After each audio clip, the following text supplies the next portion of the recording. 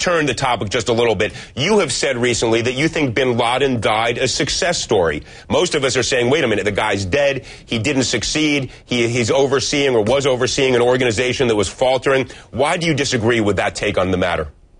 Well, his goal from the start was not a military goal. It was a, he said, always has said, I'm just one Muslim. I have a small organization. Our main goal is to inspire other Muslims to uh, pick up guns or pick up uh, a donation check and fight the United States uh, and drive it out of the region.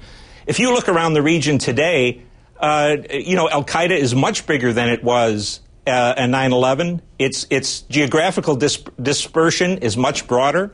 And they've been very effective in a program over the last five years to, to stimulate um, adherents in English speaking countries using U.S. citizen Muslims to do it. So, on a whole, uh, he'll go down in, in, Islamic history as sort of um, a, a, a, a Robin Hood at least.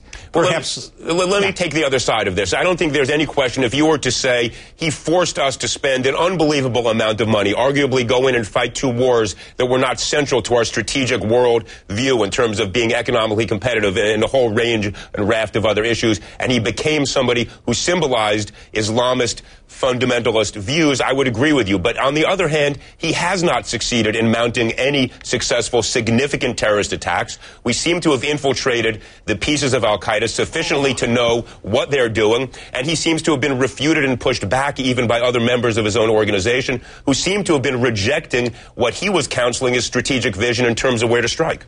Well, I think that's what we'll. Well, there's discussions in every organization. Uh, Al Qaeda was a multi-ethnic, multilinguistic organization with a lot of difficulties, as any multinational corporation is.